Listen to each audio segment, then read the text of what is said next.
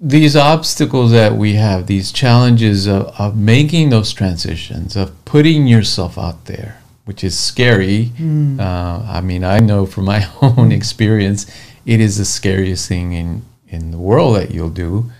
But it again, it's definitely worth it because you're doing your own dharma. But these these apparent obstacles, you know, whether it be you think I don't have the finances, I don't have the skills, I don't have the talent, or you put yourself out there and you fall on your face and yes, you get criticism or things don't work out as fast as you want them to. There's always obstacles. How- Family members get sick. yeah. How do how does that though become the way? How does that help you become a better entrepreneur? Well, I think that the obstacle is always representing an internal conflict with yourself and misunderstanding of what is happening. So when we're in fear or when we're worried, we will see more obstacles out there because in our mind, we're we're kind of uh, at war with ourselves, and so those those challenges show up out there to reflect something in our mind. Um, but I also think that we don't; these obstacles also serve um, as almost like a, a, a I'm trying to think of the word like an incubation for us as a as an entrepreneur. And this this story's coming to me and I, it's just an interesting story. I mean there's so many i could bring up but um, i'm going to throw my jersey new york yankees uh, theme no. here.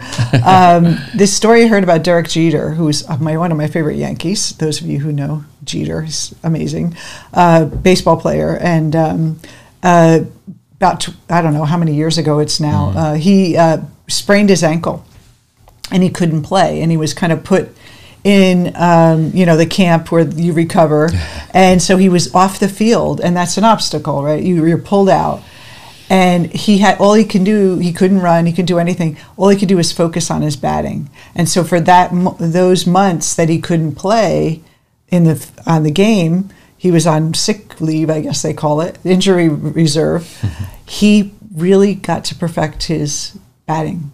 And so when he went back to play, he actually got gained a skill through that obstacle. So these things happen. There's something like everything has value. So even if you're stuck, even if there's a big obstacle, there's always something valuable that you can get. Now he could have been like poor me, but he used that time and he said, How can I make this an opportunity? Mm. And I think that's really what we want to do. It's an opportunity to understand ourselves, and it's an opportunity that maybe we need. Our, our- like our deeper self is saying, you need to stop here. You need to pause here. You need to um, be in this because there's something there for you.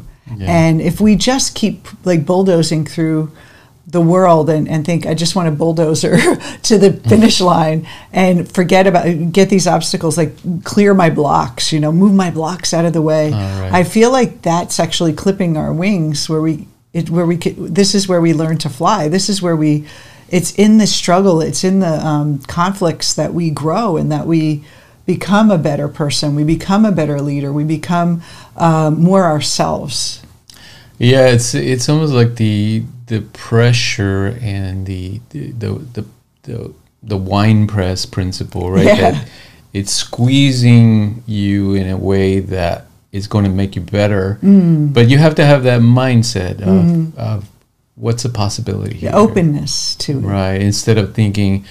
If, if I don't find success immediately, that means the universe is against me, or I got to give up and go back to my uh, cush, cushy, uh, cushy corporate- job yeah